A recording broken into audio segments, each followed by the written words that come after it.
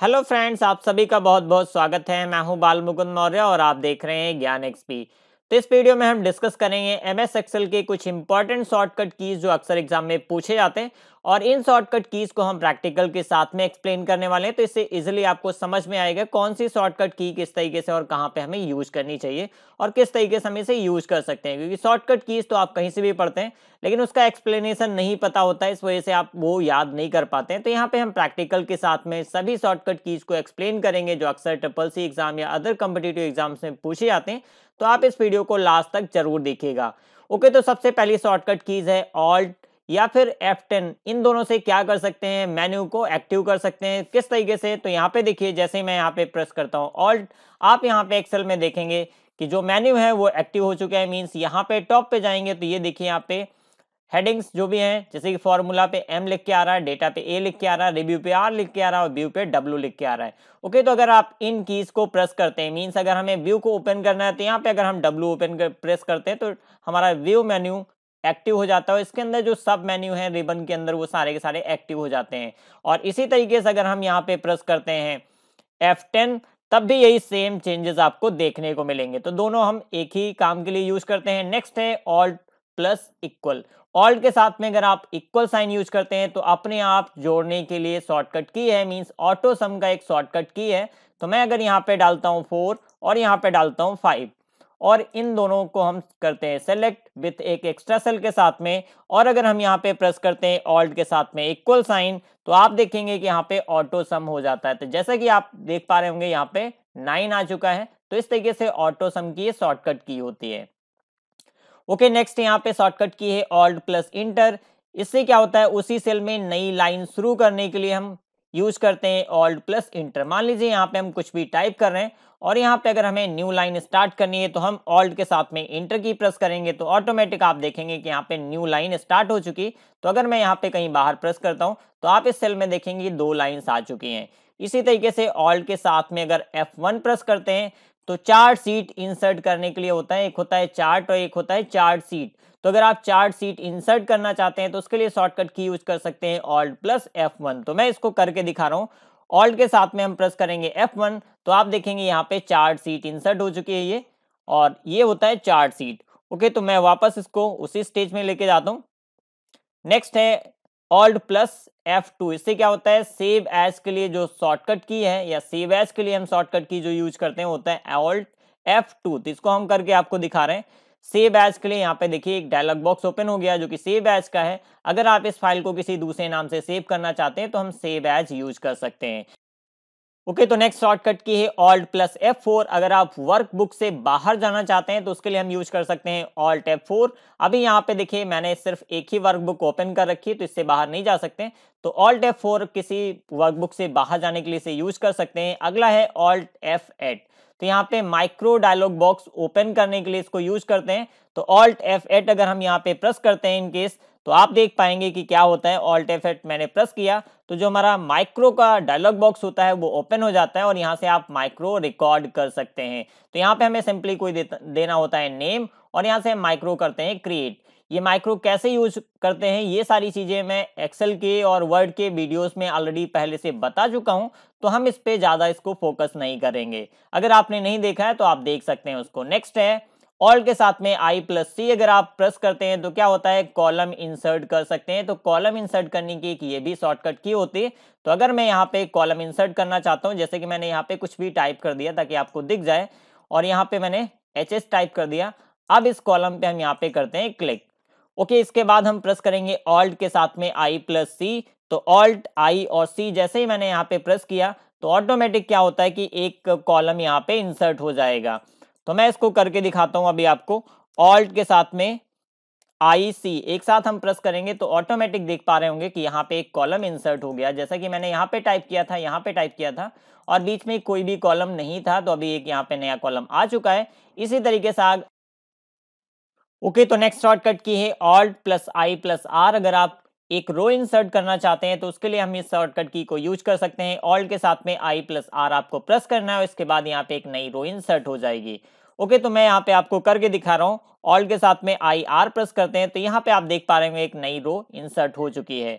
Okay तो next shortcut की है Alt plus shift plus F one इससे नई वर्कशीट आप ऐड कर सकते हैं। तो मैं अगर इसको यूज़ करता हूँ ऑल्ट प्लस शिफ्ट के साथ में एफ़ वन तो यहाँ पे देखिए अभी सीट वन सीट टू दो सीट्स है हमारे पास। तो यहाँ पे हम एक नई सीट इंसर्ट करना चाहते हैं तो इसके लिए हम यूज़ कर सकते हैं ऑल्ट शिफ्ट और F1 जैसे ही प्रेस करेंगे तो आप देख रहे हैं यहाँ पे सीट थ्री एक नई सीट आ चुकी है। ओके तो सीट ऐड करने की शॉर्टकट की है।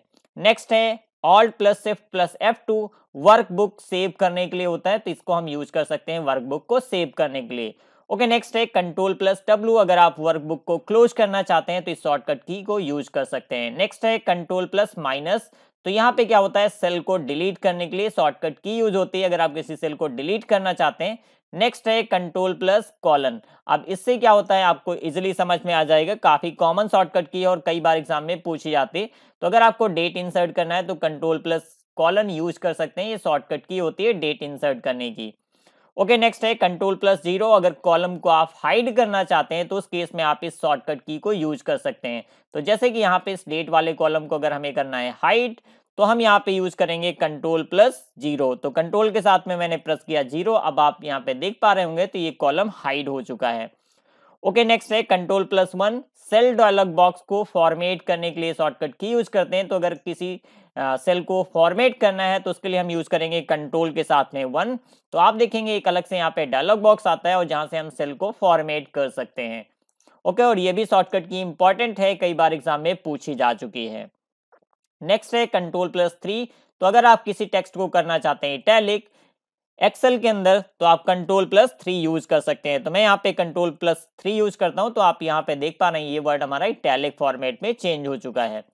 नेक्स्ट है कंट्रोल प्लस फोर तो अंडरलाइन करने की एक शॉर्टकट की होती है तो यहाँ पे कंट्रोल के साथ में फोर प्रेस करते हैं तो ये अंडरलाइन हो चुका है। इसी तरीके से काटने के लिए मीन्स जो हमारा क्रॉस एक लाइन आता है तो यहाँ पे कंट्रोल प्लस फाइव से कर सकते हैं। तो इससे आपको समझ में आएगा, देखिए जो हमारा लेटर है, उसमें बीच में एक लाइन आ गई।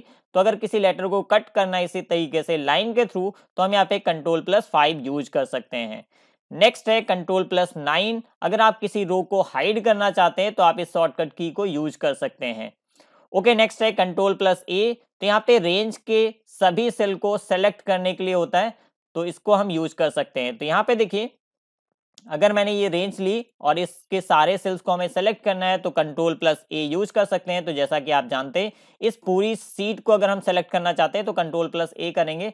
सारे सेल्स हमारे सेलेक्ट हो चुके हैं। नेक्स्ट है कंट्रोल प्लस बी बोल्ड करने की शॉर्टकट की होती है, जैसे कि वर्ड में यूज़ करते हैं, उसी तरीके सेम यहाँ पे भी हम यूज़ करते हैं। नेक्स्ट है कंट्रोल प्लस सी कॉपी करने की शॉर्टकट की है, और यहाँ पे कंट्रोल प्लस डी कॉलम को फिल करने की शॉर्टकट की है। नेक्स्ट है कंट्रोल प्लस एंड इससे क्या होता है? सेल वर्कशीट के आखिरी सेल में अगर आप जाना चाहते हैं तो कंट्रोल प्लस एंड इस शॉर्टकट की को यूज़ कर सकते हैं। बहुत सिंपल सी शॉर्टकट की है कई बार एग्ज़ाम में पूछे जाते नेक्स्ट है कंट्रोल प्लस एफ़ तो यहाँ पे अगर आप किसी आ, लेटर को या किसी कंटेंट को आप सर्च करना चाहते हैं एक्सेल सीट में तो आप कंट्रोल प्लस एफ़ यूज़ कर सकते हैं। ओके तो नेक्स्ट है कंट्रोल प्लस एफ़ टेन अगर आप मैक्सिमाइज या मिनिमाइज करना चाहते हैं वर्कशीट को तो यहाँ पे इस शॉर्टकट की को आप यूज़ कर सकते हैं। ओके नेक्स्ट है कंट्रोल प्लस एफ़ एलेवन तो यहाँ पे क्या है? 4.0 माइक्रो सीट अगर आप डालना चाहते हैं तो इसके लिए हम यूज़ कर सकते हैं। तो माइक्रो सीट होता क्या है? मैं आपको करके दिखा रहा हूँ। जैसे कि यहाँ पे कंट्रोल के साथ में F11 प्रेस करेंगे तो माइक्रो सीट यहाँ पे आप देख पा रहे होंगे, ये माइक्रो सीट होती है, जो कि पहले बाय डिफ़ॉल्ट एक माइक्रो सीट ओपन रहती है। और मैंने यहाँ पे एक शॉर्टकट की यूज़ की कंट्रोल प्लस एफ़ तो यहाँ पे एक और माइक्रो सीट ओपन हो चुकी है।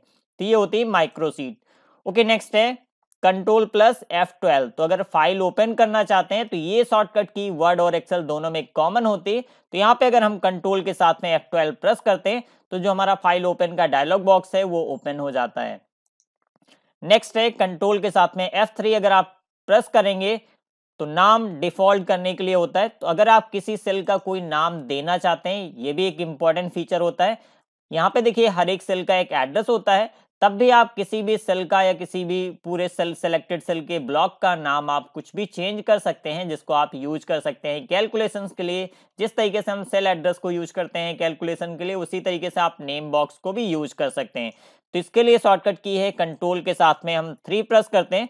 तो यहाँ पे देखिए, ये आ गया हमारा नेम मैनेजर और यहाँ पे आप किसी भी सेल सेलेक्टेड सेल को या सेलेक्टेड रेंज को कोई भी एक नाम दे सकते हो। इसको कैसे यूज़ करना है, ये सारी चीज़ें मैं प्रैक्टिकली ऑलरेडी बता चुका हूँ एक्सेल के वीडियोज़ में। तो आपने अगर देखा होगा तो याद आ रहा होगा, अगर आपने नहीं देखा है तो उस वीडियोज़ को आप देख लीजिए।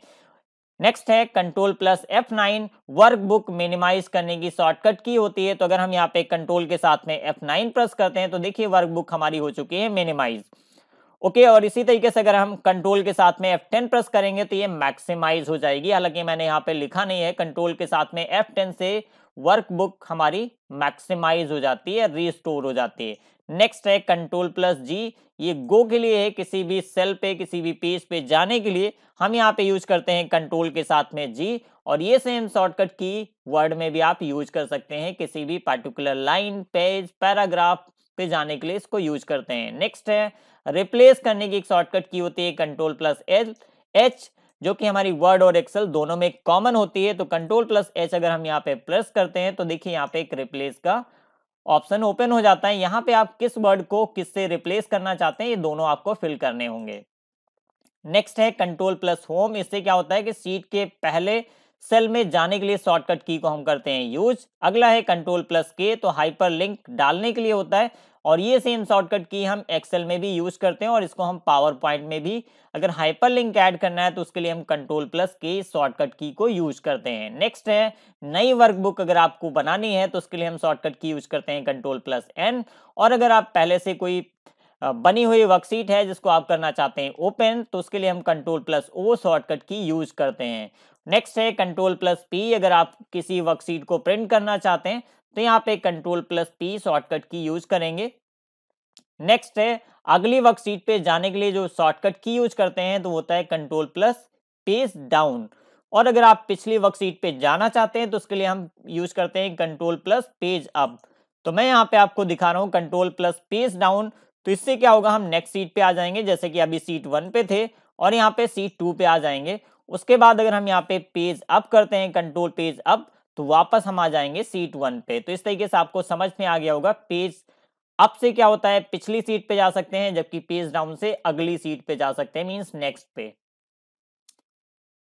ओके okay, तो नेक्स्ट शॉर्टकट की है कंट्रोल प्लस आर जो कि काफ़ी इंटरेस्टिंग है। मान लीजिए यहाँ पे जो भी कंटेंट लिखा हुआ है इसको हमें यहाँ पे कॉपी करना है। तो सिंपली हम इस जगह पे क्लिक करेंगे और प्रेस करेंगे कंट्रोल प्लस आर तो ऑटोमेटिक यहाँ पे जो लिखा हुआ है दाएँ भाग को भरने के लिए, ये टेक्स्ट हमारा यहाँ पे आ जाएगा। इस शॉर्टकट की को मैं इस वजह से यूज़ करके नहीं दिखा रहा हूँ, क्योंकि ये हमारी रिकॉर्डर की डिफ़ॉल्ट शॉर्टकट की है, जो कि यहाँ पे काम नहीं करेगी। आप अपने सिस्टम में ट्राई कर सकते हैं, इससे आप डेटा कॉपी कर सकते हैं। जो हमारा दाएँ साइड का डेटा होगा, वो यहाँ पे कॉपी हो जाएगा।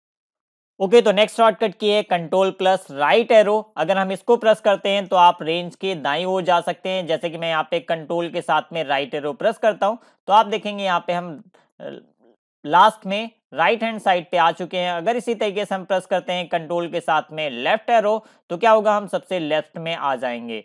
ओके तो ये हो गया हमारा कंट्रोल प्लस राइट एरो और लेफ़्ट एरो और यहाँ पे है कंट्रोल प्लस एस जो कि कॉमन शॉर्टकट की होते हैं। किसी भी सॉफ्टवेयर में मोस्टली कंट्रोल प्लस एस से हम सेव कर सकते हैं। फ़ाइल को नेक्स्ट है control plus shift plus plus का साइन अगर हम यूज़ करते हैं तो इससे क्या होता है?